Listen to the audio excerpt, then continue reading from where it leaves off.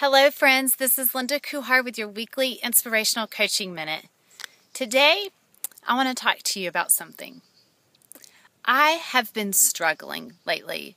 I have been fighting and pushing and striving so hard to be all that God has made me to be and designed me to be and created me to be.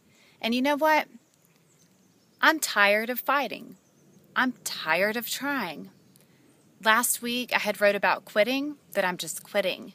And um, even after writing that post and, and going through all the comments, I still find myself struggling and fighting. And so I wanted to ask you are you tired of the fight? Are you tired of struggling? If so, will you join me today as we pray to God and ask Him to break us free from fighting?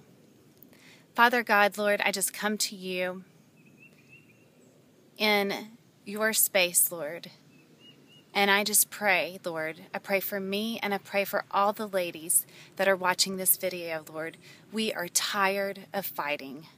We are tired of struggling.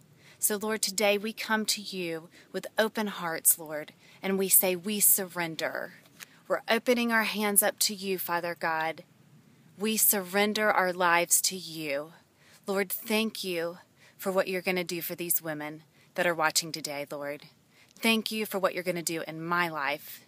Thank you that you are going to set us free from struggling and fighting so hard. Lord, we love you, we praise you, and we give you all the credit and the glory for everything that is good in our lives. And it's in Jesus Christ's name that we join together in prayer today. Amen.